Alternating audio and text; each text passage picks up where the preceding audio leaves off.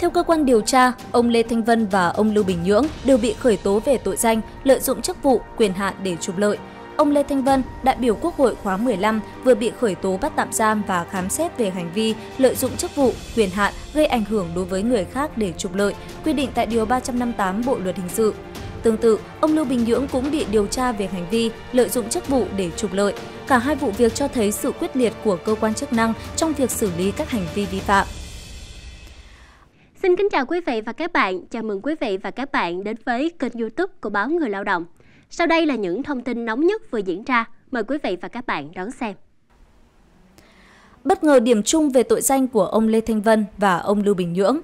Mới đây, ông Lê Thanh Vân, sinh năm 1964, trú tại quận Hoàn Kiếm, Hà Nội, đã bị cơ quan cảnh sát điều tra Công an tỉnh Thái Bình khởi tố và bắt tạm giam về hành vi lợi dụng chức vụ, quyền hạn gây ảnh hưởng đối với người khác để trục lợi. Đây là hành vi được quy định tại Điều 358 Bộ Luật Hình sự. Ông Vân là đại biểu Quốc hội khóa 15, bị cáo buộc đã lợi dụng chức vụ, quyền hạn của mình để trục lợi cho cá nhân, vi phạm quy định của pháp luật. Đối với vụ án ông Lưu Bình Nhưỡng, 60 tuổi, trú tại quận Tây Hồ, Hà Nội, Ngoài tội danh cưỡng đoạt tài sản, cơ quan cảnh sát điều tra công an tỉnh Thái Bình ra quyết định bổ sung quyết định khởi tố vụ án, bổ sung quyết định khởi tố bị can đối với ông Lưu Bình Nhưỡng về tội lợi dụng chức vụ, quyền hạn gây ảnh hưởng đối với người khác để trục lợi, quy định tại khoản 4 điều 358 Bộ luật hình sự. Công an tỉnh Thái Bình đã kêu gọi các cá nhân và tổ chức bị ông Nhưỡng lợi dụng chức vụ để trục lợi hoặc liên quan đến các hành vi phạm tội khác của ông Nhưỡng đến hợp tác giải quyết. Hai vụ bắt giữ ông Lê Thanh Vân và ông Lưu Bình Nhưỡng có điểm chung nổi bật là cả hai đều bị khởi tố về hành vi lợi dụng chức vụ, quyền hạn để trục lợi. Điều này cho thấy cơ quan chức năng đã thể hiện sự quyết tâm trong việc xử lý nghiêm minh các hành vi vi phạm này. Trong chiều ngày 10 tháng 7, Cơ quan Cảnh sát điều tra Công an tỉnh Thái Bình đã ra quyết định khởi tố vụ án, khởi tố bị can, lệnh bắt bị can để tạm giam, lệnh khám xét đối với ông Lê Thanh Vân. Ông Vân là đại biểu Quốc hội khóa 15 để điều tra về hành vi lợi dụng chức vụ, quyền hạn gây ảnh hưởng đối với người khác để trục lợi, quy định tại Điều 358 Bộ Luật Hình sự. Đây là diễn biến trong quá trình mở rộng điều tra vụ án ông Lưu Bình Nhưỡng và đồng phạm phạm tội cưỡng đoạt tài sản và lợi dụng chức vụ, quyền hạn gây ảnh hưởng đến người khác để trục lợi xảy ra tại tỉnh Thái Bình. Cùng ngày, Viện Kiểm sát Nhân dân tỉnh Thái Bình đã phê chuẩn các quyết định, lệnh nêu trên. Hiện, Công an tỉnh Thái Bình đang khẩn trương thu thập, củng cố tài liệu, chứng cứ, đồng thời tiếp tục mở rộng điều tra vụ án, thu hồi tài sản theo quy định pháp luật. Trước khi các hành động pháp lý được cơ quan cảnh sát điều tra Công an tỉnh Thái Bình thực thi theo quy định của pháp luật, Ủy ban Thường vụ Quốc hội đã thông qua nghị quyết số 1090 về việc đồng ý khởi tố bị can, bắt tạm giam, khám xét nơi ở, nơi làm việc, đồng thời tạm đình chỉ việc thực hiện nhiệm vụ quyền hạn của đại biểu Quốc hội đối với ông Lê Thanh Vân, Ủy viên Thường trực Ủy ban Tài chính Ngân sách Quốc hội, đại biểu Quốc hội khóa 15. Ông Lê Thanh Vân, 60 tuổi, quê tại huyện Hậu Lộc, tỉnh Thanh Hóa, trình độ tiến sĩ luật, Ông Lê Thanh Vân là đại biểu Quốc hội các khóa 13, thành phố Hải Phòng, 14, 15, tỉnh Cà Mau và là Ủy viên Thường trực Ủy ban Tài chính Ngân sách các khóa 14, 15. Ông Lê Thanh Vân nhiều năm làm việc tại Quốc hội tại vụ hoạt động đại biểu dân cử, nay là Ban công tác đại biểu thuộc Ủy ban Thường vụ Quốc hội, Viện Nghiên cứu Lập pháp thuộc Ủy ban Thường vụ Quốc hội và Ủy ban Tài chính Ngân sách. Ông Lê Thanh Vân cũng có hơn một năm được luân chuyển về địa phương làm Phó Bí thư tỉnh ủy Hải Dương từ tháng 3 năm 2014 đến tháng 1 năm 2015. Trước khi quay trở lại Ủy ban Tài chính Ngân sách, giữ chức Ủy viên Thường trực Ủy ban này. Ủy ban Kiểm tra Trung ương kỷ luật khai trừ ra khỏi Đảng đối với ông Lưu Bình Nhưỡng. Việc ông Lưu Bình Nhưỡng bị cơ quan cảnh sát điều tra công an tỉnh Thái Bình khởi tố bị can, bắt tạm giam để điều tra hành vi cưỡng đoạt tài sản, bổ sung quyết định khởi tố vụ án, bổ sung quyết định khởi tố bị can đối với ông Lưu Bình Nhưỡng về tội lợi dụng chức vụ, quyền hạn gây ảnh hưởng đối với người khác để trục lợi, khiến dư luận xôn xao nhiều tỉnh thành đã giả soát và phát hiện các kiến nghị, phiếu chuyển đơn cũng như văn bản do ông Lưu Bình Nhưỡng ký với chức vụ đại biểu Quốc hội hoặc phó trưởng ban dân nguyện. Từ ngày 18 đến ngày 20 tháng 12 năm 2023, Ủy viên Bộ Chính trị, Bí thư Trung ương Đảng, chủ nhiệm Ủy ban Kiểm tra Trung ương Trần Cẩm Tú đã chủ trì kỳ họp thứ 34 của Ủy ban này. Tại kỳ họp này, xem xét đề nghị của Ban Thường vụ Đảng bộ khối các cơ quan trung ương về thi hành kỷ luật đảng viên vi phạm, Ủy ban Kiểm tra Trung ương nhận thấy ông Lưu Bình Nhưỡng, nguyên Phó trưởng Ban dân nguyện thuộc Ủy ban Thường vụ Quốc hội đã suy thoái tư tưởng chính trị, đạo đức, lối sống, tự diễn biến, tự chuyển hóa, vi phạm quy định của Đảng, pháp luật của nhà nước, vi phạm quy định những điều đảng viên không được làm và trách nhiệm nêu gương trong thực hiện chức trách, nhiệm vụ được giao, lợi dụng chức vụ, quyền hạn để trục lợi, vi phạm luật bảo vệ bí mật nhà nước, ảnh hưởng sâu đến uy tín của tổ chức đảng và cơ quan nhà nước. Căn cứ quy định của Đảng, Ủy ban Kiểm tra Trung ương quyết định kỷ luật khai trừ ra khỏi Đảng đối với ông Lưu Bình Nhưỡng. Vụ án liên quan ông Lưu Bình Nhưỡng tại Lâm Đồng Đối với các vụ án liên quan đến ông Lưu Bình Nhưỡng, Ủy ban Kiểm tra Trung ương cũng xem xét kết quả kiểm tra việc thực hiện nhiệm vụ kiểm tra, giám sát, thi hành kỷ luật Đảng đối với Ban Thường vụ tỉnh ủy và Ủy ban Kiểm tra tỉnh ủy, kiểm tra việc kê khai tài sản, thu nhập đối với các thành viên thường trực tỉnh ủy Lâm Đồng. Ủy ban Kiểm tra Trung ương nhận thấy, bên cạnh những ưu điểm là cơ bản, các tổ chức đảng, đảng viên được kiểm tra còn có một số vi phạm, khuyết điểm trong lãnh đạo, chỉ đạo, tổ chức thực hiện nhiệm vụ kiểm tra, giám sát, thi hành kỷ luật đảng trong quản lý, sử dụng tài chính, tài sản của đảng và kê khai tài sản, thu nhập. Ủy ban Kiểm tra Trung ương yêu cầu các tổ chức đảng và đảng viên được kiểm tra kiểm điểm nghiêm túc, rút kinh nghiệm, khắc phục kịp thời những vi phạm, khuyết điểm đã được chỉ ra, phát huy ưu điểm, tăng cường lãnh đạo, chỉ đạo các cấp ủy, tổ chức đảng, Ủy ban kiểm tra các cấp thực hiện kiểm tra giám sát, trọng tâm là kiểm tra các biểu hiện suy thoái về tư tưởng chính trị, đạo đức, lối sống, thực hiện quy định những điều đảng viên không được làm, trách nhiệm nêu gương, công tác cán bộ, quản lý, sử dụng đất đai, tài nguyên, khoáng sản, thực hiện các dự án đầu tư và những vấn đề nổi cộm, bức xúc, dư luận quan tâm, báo cáo kết quả về Ủy ban Kiểm tra Trung ương. Ra soát nội dung hai văn bản ông Lưu Bình Nhưỡng gửi Đắk Lắk. Liên quan đến ông Lưu Bình Nhưỡng, chiều 15 tháng 12 năm 2023, Ủy ban nhân dân tỉnh Đắk Lắk có văn bản gửi cơ quan cảnh sát điều tra Công an tỉnh Thái Bình về việc cung cấp thông tin, tài liệu phục vụ công tác điều tra vụ án hình sự liên quan đến ông Lưu Bình Nhưỡng. Theo Ủy ban Nhân dân tỉnh Đắk Lắk, Ủy ban Nhân dân tỉnh đã xem xét công văn của Cơ quan Cảnh sát điều tra Công an tỉnh Thái Bình về việc cung cấp thông tin, tài liệu phục vụ điều tra vụ án hình sự Phạm Minh Cường, Lưu Bình Nhưỡng và đồng phạm phạm tội cưỡng đoạt tài sản xảy ra tại huyện Thái Thụy, tỉnh Thái Bình. Ủy ban nhân dân tỉnh Đắk Lắk đã chỉ đạo các sở, ban, ngành, Ủy ban nhân dân các huyện, thị xã, thành phố ra soát toàn bộ các văn bản kiến nghị, phiếu chuyển đơn hoặc văn bản khác do ông Lưu Bình Nhưỡng ký với chức vụ đại biểu Quốc hội hoặc phó trưởng ban dân nguyện thuộc Ủy ban Thường vụ Quốc hội gửi đến trong thời gian từ tháng 7 năm 2016 đến nay. Kết quả giả soát, Công an tỉnh Đắk Lắk và Viện Kiểm sát Nhân dân tỉnh Đắk Lắk có tiếp nhận hai công văn của Ban dân nguyện do ông Lưu Bình Nhưỡng ký với chức vụ Phó trưởng Ban dân nguyện. Theo Ủy ban Nhân dân tỉnh Đắk Lắk, ngày 28 tháng 4 năm 2022, ông Lưu Bình Nhưỡng đã ký văn bản chuyển đơn của ông Trần Bình Tê và ông Nguyễn Văn Thờ cùng ngụ thị xã Buôn Hồ, tỉnh Đắk Lắk tới Công an tỉnh Đắk Lắk và Viện Kiểm sát Nhân dân tỉnh Đắk Lắk. Nội dung kiến nghị của ông Lưu Bình Nhưỡng là đề nghị Công an tỉnh Đắk Lắk và Viện Kiểm sát Nhân dân tỉnh quan tâm, xem xét, giải quyết đơn của ông Tê và ông Thờ. Hai người này cùng tố giác giám đốc một doanh nghiệp có hành vi gian dối nhằm chiếm đoạt tài sản. Ông Tê và ông Thờ không đồng ý kết quả giải quyết của Công an tỉnh Đắk Lắk và Viện Kiểm sát Nhân dân tỉnh Đắk Lắk khi ra quyết định không khởi tố vụ án. Đồng thời, liên tục có đơn đề nghị xem xét, giải quyết để đảm bảo quyền lợi hợp pháp của các ông. Kết quả giải quyết việc ông Tê và ông Thờ cùng tố cáo một giám đốc là tranh chấp phát sinh trong hoạt động kinh doanh thương mại giữa cá nhân, tổ chức có đăng ký kinh doanh, vụ việc không có dấu hiệu tội phạm. Việc cơ quan cảnh sát điều tra công an tỉnh Đắk Lắk ra quyết định không khởi tố vụ án là có căn cứ và đúng quy định của pháp luật. Cơ quan cảnh sát điều tra công an tỉnh Đắk Lắk và Viện kiểm sát nhân dân tỉnh Đắk Lắk đã thông báo kết quả giải quyết đơn của công dân gửi Ban dân nguyện, Ủy ban Thường vụ Quốc hội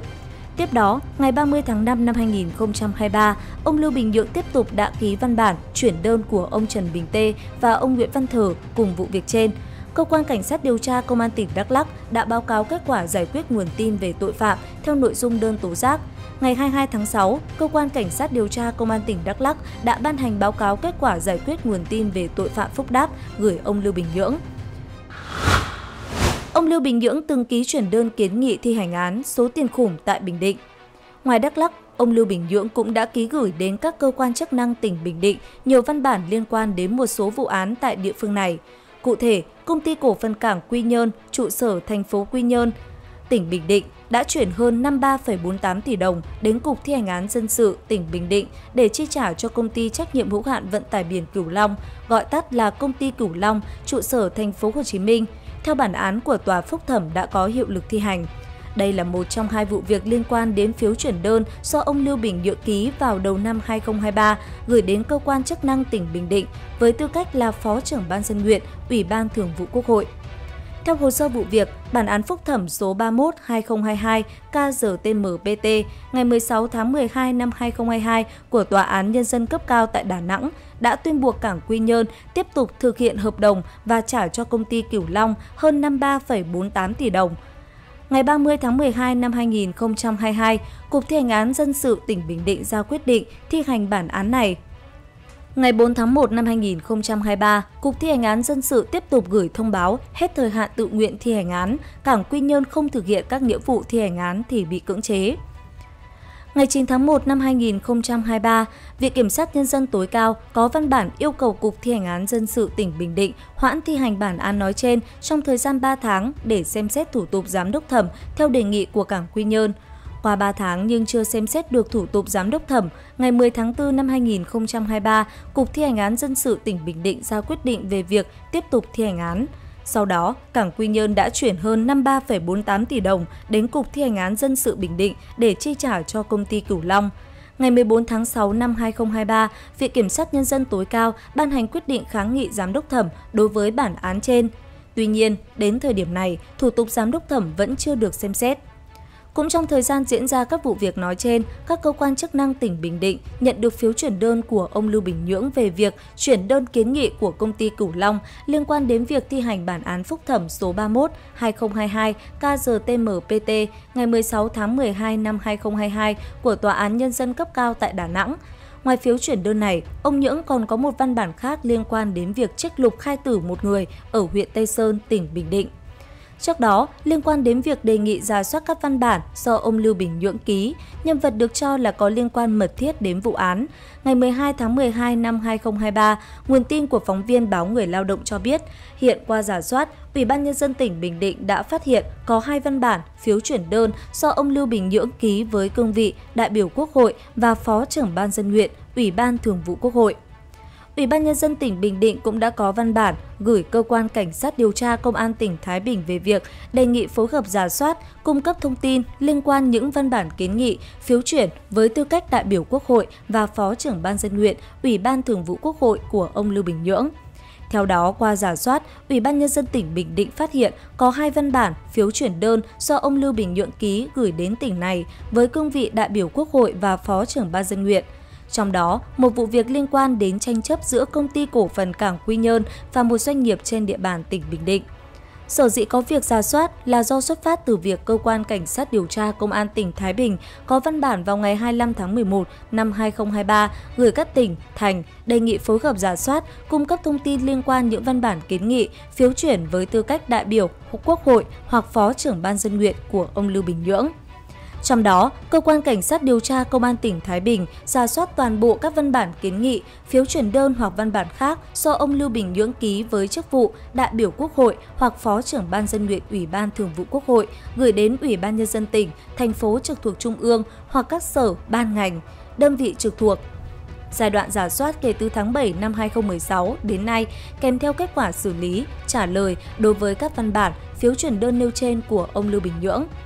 Ông Lưu Bình Nhưỡng là tiến sĩ luật kinh tế, từng là đại biểu Quốc hội khóa 14 2016-2021 thuộc đoàn đại biểu tỉnh Bến Tre, ủy viên Ủy ban về các vấn đề xã hội của Quốc hội. Từ tháng 9 năm 2018, ông Lưu Bình Nhưỡng được Ủy ban Thường vụ Quốc hội điều động bổ nhiệm giữ chức Phó trưởng Ban dân nguyện.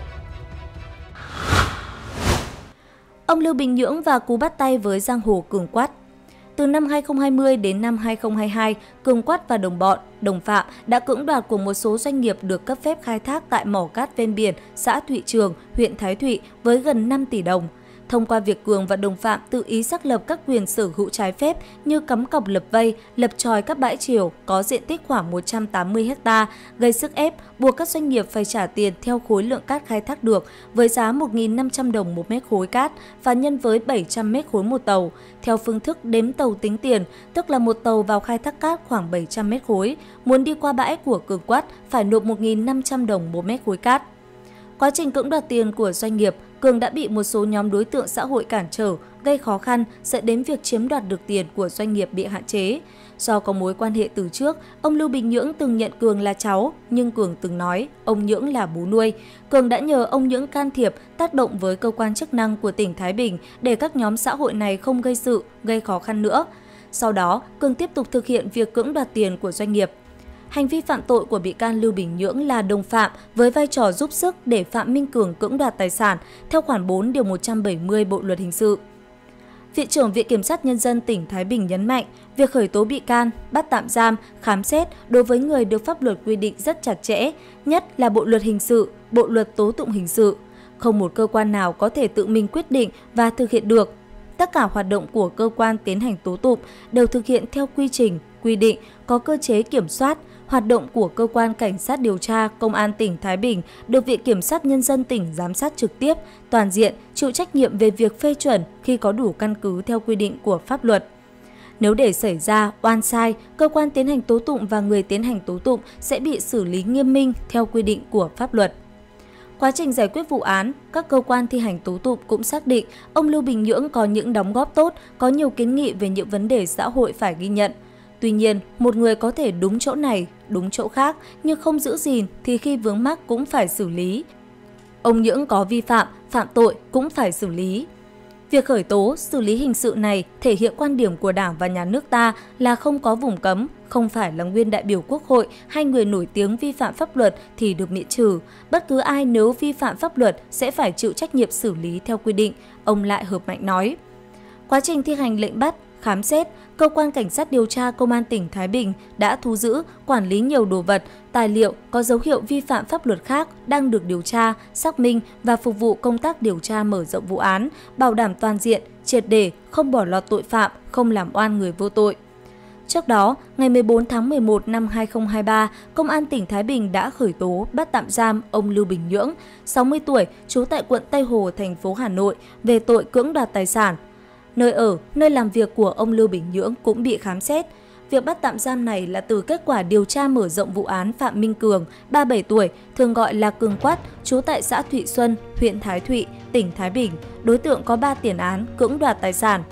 Nơi ở, nơi làm việc của ông Lưu Bình Nhưỡng cũng bị cơ quan cảnh sát điều tra công an tỉnh Thái Bình khám xét ngay sau đó. Quá trình khám xét, cơ quan chức năng đã thu giữ nhiều tài liệu quan trọng. Đầu tháng 12 năm 2023, tại kỳ họp thứ 7 Hội đồng Nhân dân tỉnh Thái Bình khóa 17, ông Lại Hợp Mạnh, Viện trưởng Viện Kiểm sát Nhân dân tỉnh Thái Bình đã báo cáo trước Hội đồng Nhân dân tỉnh và cử tri Nhân dân tỉnh Thái Bình về tình hình vi phạm, tội phạm năm 2023, kết quả công tác thực hành quyền công tố, kiểm sát, điều tra, xét xử án hình sự. Trong đó, Viện trưởng Viện Kiểm sát Nhân dân tỉnh Thái Bình đã thông tin về vụ việc liên quan đến khởi tố, bắt tạm giam đối với ông Lưu Bình Nhưỡng. Viện trưởng Viện Kiểm sát Nhân dân tỉnh Thái Bình cho biết, việc khởi tố bắt tạm giam ông Lưu Bình Nhưỡng căn cứ vào kết quả điều tra mở rộng vụ án Phạm Minh Cường, tức Cường Quát, sinh năm 1986, trú tại xã Thụy Xuân, huyện Thái Thụy, tỉnh Thái Bình. Cường Quát là đối tượng sang hồ cộng cán, từng có 3 tiền án, đã thực hiện nhiều hành vi trái pháp luật, làm ảnh hưởng nghiêm trọng đến an ninh trật tự trên địa bàn tỉnh. Chi tiết hình phạt dành cho tội danh cưỡng đoạt tài sản Việc Công an tỉnh Thái Bình khởi tố, bắt tạm giam ông Lưu Bình Nhưỡng, sinh năm 1963, trú tại quận Tây Hồ, thành phố Hà Nội, về tội cưỡng đoạt tài sản, được quy định tại khoản 4 điều 170 Bộ Luật Hình sự năm 2015, sửa đổi năm 2017, gây xôn xao dư luận trong thời gian dài. Theo quy định tại Điều 170, tội cưỡng đoạt tài sản thể hiện ở hành vi đe dọa sẽ dùng vũ lực hoặc dùng thủ đoạn khác uy hiếp tinh thần người khác nhằm chiếm đoạt tài sản,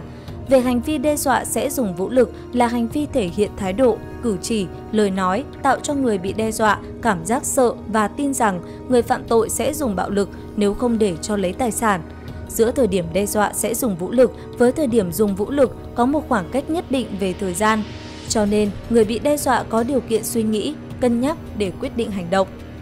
Về hành vi dùng thủ đoạn khác, uy hiếp tinh thần người khác nhằm chiếm đoạt tài sản là hành vi đe dọa sẽ là một việc gây thiệt hại về tài sản, danh dự, uy tín nếu người bị uy hiếp không thỏa mãn yêu cầu chiếm đoạt tài sản của người phạm tội như đe dọa hủy hoại tài sản, loan tin về đời tư, tố giác hành vi phạm pháp của người bị đe dọa. Tội cưỡng đoạt tài sản là tội có cấu thành hình thức và được coi là hoàn thành từ thời điểm người phạm tội thực hiện một trong các hành vi phân tích ở trên chứ không phụ thuộc vào việc có chiếm đoạt được tài sản hay không. Hậu quả đe dọa đến quyền sở hữu và nhân thân của người bị hại. Về mặt chủ quan tội cưỡng đoạt tài sản, tội phạm được thực hiện với lỗi cố ý trực tiếp, mục đích chiếm đoạt tài sản là yếu tố bắt buộc của cấu thành tội phạm này. Về chủ thể tội cưỡng đoạt tài sản là người đủ tuổi và có năng lực trách nhiệm hình sự. Cụ thể, theo Điều 170 Bộ Luật Hình sự quy định, người nào đe dọa sẽ dùng vũ lực hoặc có thủ đoạn khác uy hiếp tinh thần người khác nhằm chiếm đoạt tài sản thì bị phạt tù từ 1 năm đến 5 năm. Phạm tội thuộc một trong các trường hợp sau đây thì bị phạt tù từ 3 năm đến 10 năm như có tổ chức, có tính chất chuyên nghiệp, phạm tội đối với người dưới 16 tuổi, phụ nữ mà biết là có thai, người già yếu hoặc người không có khả năng tự vệ, chiếm đoạt tài sản trị giá từ 50 triệu đồng đến dưới 200 triệu đồng, gây ảnh hưởng xấu đến an ninh, trật tự, an toàn xã hội, tái phạm nguy hiểm.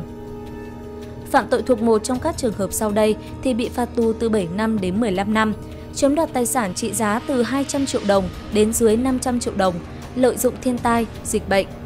Phạm tội thuộc một trong các trường hợp sau đây thì bị phạt tù từ 12 năm đến 20 năm, chiếm đoạt tài sản trị giá 500 triệu đồng trở lên, lợi dụng hoàn cảnh chiến tranh, tình trạng khẩn cấp.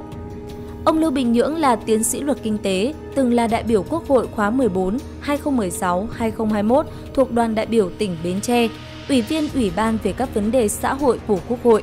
Từ tháng 9 năm 2018, ông Lưu Bình Nhưỡng được Ủy ban Thường vụ Quốc hội điều động bổ nhiệm giữ chức Phó trưởng Ban dân nguyện – Việc ông Lưu Bình Nhưỡng phạm tội cưỡng đoạt tài sản và có thể chịu hình phạt cụ thể ra sao còn phụ thuộc vào kết luận điều tra của cơ quan cảnh sát điều tra Công an tỉnh Thái Bình, đề nghị truy tố của Viện Kiểm sát dựa trên thủ đoạn, tính chất hành vi của bị can Lưu Bình Nhưỡng trong quá trình phạm tội. Những thông tin vừa rồi đã khép lại chương trình của chúng tôi. Quý vị đừng quên đăng ký kênh để trở thành người đầu tiên theo dõi những thông tin mới nhất trên kênh youtube của Báo Người Lao động. Cảm ơn sự đồng hành của quý vị. Xin chào và hẹn gặp lại quý vị và các bạn ở những chương trình sau.